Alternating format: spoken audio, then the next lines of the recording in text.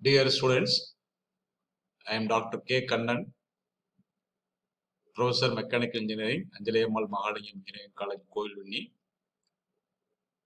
I am happy to meet you again uh, through this video lecture, Psychrometric Processes. In the previous lecture, uh, we discussed the psychrometric properties like dry bulb temperature, wet bulb temperature, dew point temperature, uh, relative humidity, specific humidity, and we introduce the psychrometric chart. The psychrometric chart is the graphical representation of various psychrometric properties. Now we refer to the psychrometric chart once again. So the uh, y-axis, the specific humidity is given, and the x-axis dry bulb temperature is given. And look at uh, the lines with the arrowhead, horizontal, vertical, incline, everything. I take the horizontal line. So from the center, moving towards the right side, that is heating. So what we observe, the dry bulb temperature increases at a constant specific humidity. Specific humidity remains constant and the bulb temperature increases. So this is heating process. That is sensible heating process. So that uh, sensible heating means increasing the temperature without changing the specific humidity.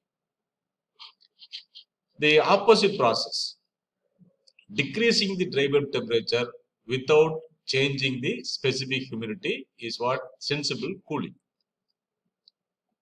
And uh, vertically upward line. So it is mentioned as humidification.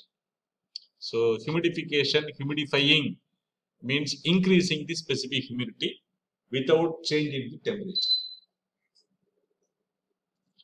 And the opposite, vertically downward, dehumidifying. That is removal of water vapor at constant dry bulb temperature. So humidifying, adding water vapor, dehumidifying, removing water vapor at constant temperature. So these are all the four basic uh, processes required inside the air conditioned space. Either you have to heat the air, cool the air, or you have to add the water vapor or decrease the water vapor. Normally in a air conditioned space, we combine. Combining in the sense heating and humidifying. Either it may be heating and humidifying or cooling and dehumidifying. So during the winter season, the outside temperature is low, or you can even assume a, a cold country where the outside temperature is low. We require warm condition inside the room, so we heat and humidify. In a hot country like India, uh, we require we have to have the lower temperature inside the air conditioned space. So we require cooling and dehumidifying. So the heating and humidifying is one process and cooling and dehumidifying is another process. So these are all the various psychrometric processes uh, what we are going to discuss in the uh, slides to come first we take the sensible heating or the cooling process we consider a duct where the air is flowing. At the inlet, we have the M1, G1, H1, W1, T1. M1 is the mass of the water vapor, G1 is the mass of the air, H1 is the enthalpy of the air and water vapor mixture, W1 is the specific humidity, and T1 is the temperature. So there is some heat addition and uh, there is change in the properties. M2 is the mass of the water vapor, uh, G2 is the mass of the dry air, H2 is the enthalpy of the air, and W2 is the specific humidity, and T2 is the temperature. Now, look at the psychrometric chart. The process is explained in the psychrometric chart and in the temperature entropy diagram. So we refer only the we refer only the psychrometric chart. So this is the initial condition where the temperature is T1, dry bulb temperature is T1, and the relative humidity is phi 1 and the corresponding enthalpy is H1. And this is the final condition T2 with the relative humidity phi 2 and the corresponding enthalpy is H2. Now the process is sensible heating. So from 1 to 2, the heat is added to the air. So look at the diagram psychrometric chart. There is no change in the specific humidity of the air. So sensible heating means increasing the temperature of the air without change in specific humidity of the air. Now we have to calculate the parameters. Mass balance. First we apply the mass balance. For air, there is no change in the mass of the air. So mass of the air entering is G1, mass of the air leaving G2. Moisture, there is no change in the specific humidity. So M1 equal to M2 moisture. The water vapor present is also the same. So G1 W1 equal to G2 W2. Energy balance, writing the energy balance. So energy of the air at inlet into plus the heat supplied is equal to energy of the air leaving. So G1 H1 is the enthalpy of the mixture entering. Q1 is the amount of heat added. G2 H2 is the uh, enthalpy of the air water vapor mixture at the outlet. So the Q1 to what is the amount of heat added that is equal to um, the Q1 equal to G into H2 minus H1. So Q1 equal to G into H2 enthalpy of the air plus enthalpy of water vapor. So enthalpy of water vapor equal to W2 into HW2 and my enthalpy of the air and enthalpy of the water vapor W1 uh, HW1. So this is G into HA2 minus HA1 plus W2 into what is this HW2 enthalpy of water vapor it is available in the superheated condition. So this W1 is also available in the superheated condition. So for that you refer to this diagram, the temperature entropy diagram. So both the water vapor available in the air, it is in the form of superheated steam. That is why we have the we have taken the enthalpy of the superheated vapor. And Cp is the specific specific heat of the steam in kilojoules per kilogram Kelvin. So W1 equal to W2. So the, these are all the conditions. There is no change in the specific humidity. Hg2 equal to Hg1, dP2 equal to dP1. So finally, uh, uh, G into G, CPA into T2 minus T1 plus CP into W2 uh, T2 minus T1 and substituting uh, CPA equal to 1.005 and the CP of water vapor is one, water vapor is 1.9. So the amount of heat added during this process uh, is equal to G into uh, this value. So uh, just remember the equation and while solving the problem we will directly take the property from the psychrometric chart and substitute. So uh, it is easy to solve the problem using psychrometric chart. So the similar expression may be obtained for sensible cooling process with the constant specific humidity. We can use the same equation. Uh, if it is a cooling process, what will happen? The value will be negative. That is only change. And the cooling and dehumidification. So look at the diagram the air enters with all the properties G1, M1, W1, H1, T1. Air leaves with all the properties G2, H2, W2, H2, uh, G2, M2, W2, H2, and T2.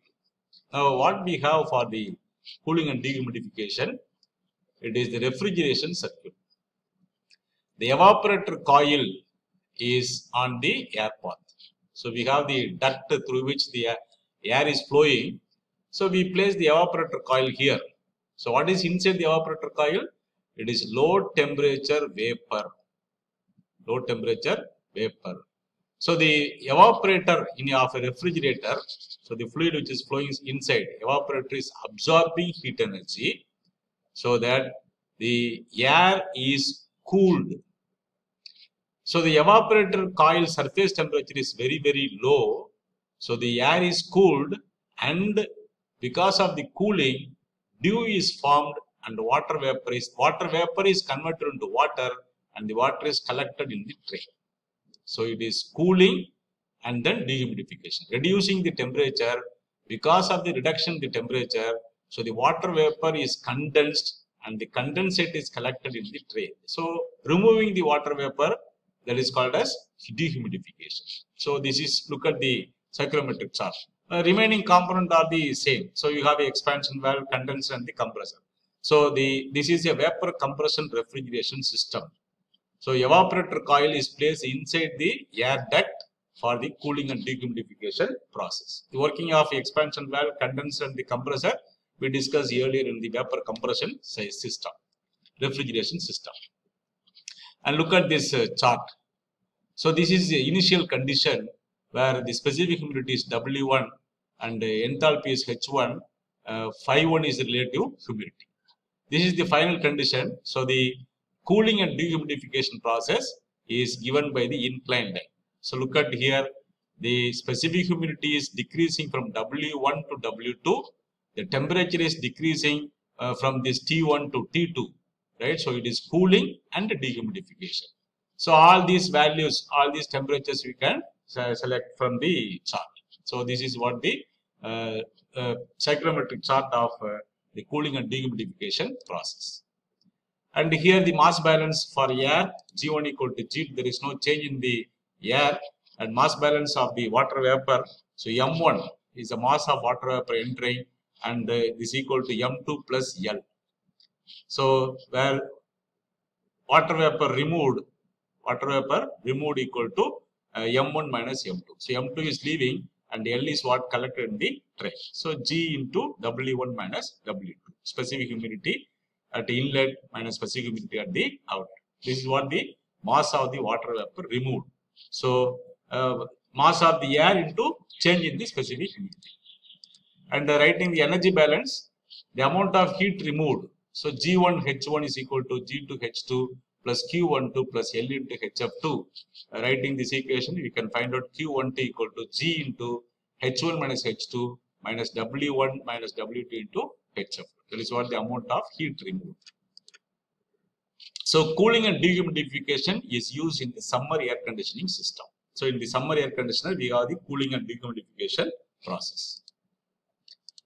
And the heating and humidification, the opposite, opposite of the previous uh, process. So this is, look at here, G1 is the mass of the air at the inlet, M1 is the mass of the water vapor, H1 is the enthalpy at the inlet, W1 is the specific humidity at the inlet, T1 is the temperature at the inlet. So these are all the values at the outlet. G2 is the mass of the air, M2 is the mass of the water vapor, H2 is the enthalpy of the air, and W2 is the specific humidity and T2 is the temperature. There are two components. One we have the heating coil uh, and another one is called as a humidifier. We have a water spray system. So adding water vapor is humidification. We have to spray the water in the air path so that air will air will pick up the uh, water vapor and uh, the amount of the specific humidity will increase. So the heating and humidification. So this is heating and this is humidification. So the combined is 1 to 2. So heating and humidification. So Psychrometric chart. The heating is horizontal line, uh, humidification is vertical line. So the actual line is 1 to 2. So the T1 is the temperature here and T2 is the temperature here. W1 is the specific humidity and W2 is the specific humidity at the outlet. So writing the mass balance for air G1 equal to G2. G1 equal to G2. Mass of the air is constant. Mass of water vapor. Now we are adding water vapor. So M1 plus L equal to M2. The mass of water vapor added L equal to M2 minus M1 which is G into W2 minus W1. So writing the energy balance, the amount of heat given uh, Q1 G1 H1 plus L1 HF plus Q12 equal to G2 H2. So the amount of heat added that is equal to G into H2 minus H1 minus L into HF. So this is the amount of heat added and this is the amount of water vapor added. And adiabatic mixing of uh, two steam. So here, uh, here some air is flowing with the uh, with the G1 is the mass of the air, W1 is specific humidity, and H1 is enthalpy. Here, certain quantity of air is entering, flowing. G2 is the mass of the air, H2 is the enthalpy, W2 is the specific humidity. These two are mixed here, and the total flow here it is G3 is the mass of the air, H3 is the uh, enthalpy of the uh, air, and W3 is the uh, specific humidity. Where do you find this kind of arrangement in your air conditioning system? We assume uh, we are sitting inside the air conditioner, air conditioned space, in air conditioned room. So there we have certain amount of uh, air with the enthalpy H1 and uh, specific humidity W1. And uh, somebody is entering to the room by opening the door. So when the door is opened, the atmospheric air is rushing to the air conditioned room. Uh, now what happens? The new air which is entering into the room with the property G2 is the quantity of the air, H2 is the uh, the enthalpy of the air, and W2 is the specific humidity of the air. Now these two are mixing together inside the air conditioned space, and the, net result is G3, H3, and W3. And this is what the uh, psychrometric process, psychrometric chart explanation of this process in the psychrometric chart. Now for the mass balance and the energy balance, you will get this mass balance for air G1 plus G2 equal to G3, for vapor M1 plus M2 equal to M3, uh, substituting G1 W1 plus G2 W2 equal to G3 W3. The energy balance is G1 H1 plus G2 H2 equal to G3 H3. So rearranging, so G1 by G2 equal to H3 minus H2 divided by H1 minus H3, which is also equal to W3 minus W2 divided by W1 minus W3. So from the two equations, so the this equation and this equation, we can find out G1 by G2 ratio. And the chemical dehumidification. So in the dehumidification, we require a, a system, refrigeration cycle, vapor compression refrigeration cycle for producing the lower temperature. Instead of a refrigeration cycle, we can use some chemicals. Uh, some chemicals like silica gel uh, or activated alumina they have the great affinity to water water vapor. They are called as adsorbents. We can use the adsorbents for removal of the water vapor. That is what uh, chemical dehumidification. So using the chemicals we are removing the water vapor from the air. Uh, that is what called as chemical dehumidification. And next one is evaporative cooling process. Uh, actually we are reducing the temperature by evaporation. That is what evaporative cooling process. Uh, how to understand the evaporative cooling process? Uh, you take the water in your lake, water in your lake. So the hot air, the sun is sun, the heat of the sun is falling on the top surface of the water. When you go into the lake, the temperature of the water inside the lake is lower than the surrounding temperature. So it is cooled. The water in the lake is cooled by evaporating water from the top surface of the lake. So that is what called as evaporative cooling. And this is again what is happening in the uh, water inside the uh, mud pot. So water inside the mud pot is always at lower temperature. So if you find the outer surface of the mud pot, there will be always a layer of water which is getting evaporated. So the water is evaporated uh, from the outer surface of the mud pot, but the water inside the mud pot is getting uh, cooled. So it is also example for evaporative cooling process. So the evaporative cooling process, the enthalpy remains constant. So you will getting a inclined line for constant enthalpy H1 and H2 and uh, we supply water and there will be some spray of water uh, which is giving the constant enthalpy. Water is spread in the duct where air water vapor is circulated. So we maintain the enthalpy as a constant and adding the water vapor. That is what called as evaporative cooling process. So here the um, for air mass balance G1 is G, G2 equal to G and water vapor G1 W1 equal plus L equal to G2 W2 and energy balance is G1 H1 plus L into HF equal to G2 H2 uh, G1 G into H1 minus H2 equal plus G into W1 W2 minus W1 HF equal to 0 and you will get H1 minus W1 HF equal to H2 minus W2 HF. This is what the energy balance. And the okay, this is the energy balance for the evaporative cooling. Next one is the cooling tower. So cooling tower here also the air and the water vapor uh, are involved. So the cooling tower is used in the steam power plant. Uh, we have a condenser in the steam power plant. Inside the condenser, we are circulating water for removing the uh, heat from the steam. So the water is the cold water the cooling water is circulated inside the condenser to remove the water.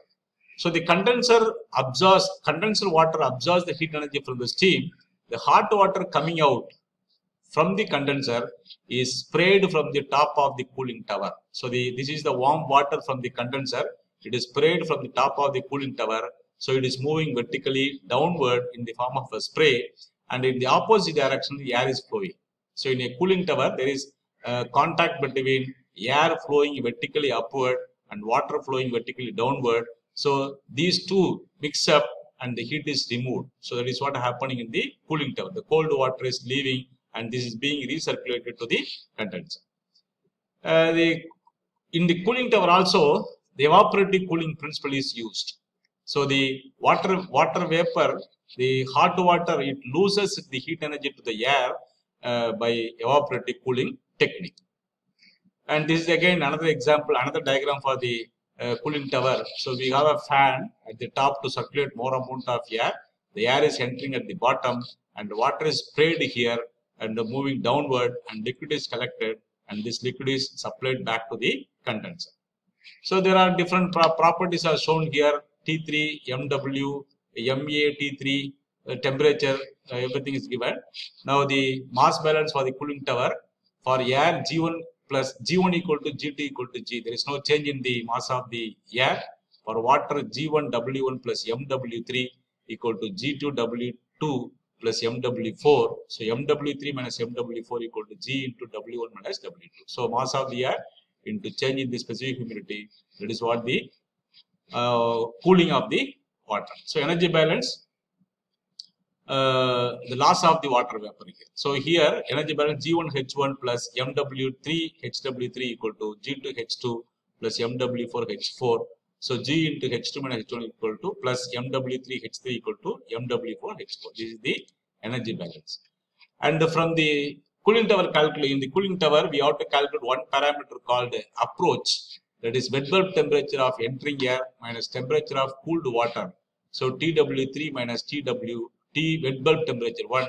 This is the approach, which it is a, indicator of uh, cooling tower uh, calculation. So thank you uh, for your listening. And in the next lecture, we may solve some problems on the uh, psychrometric uh, processes so that we can easily understand the calculation.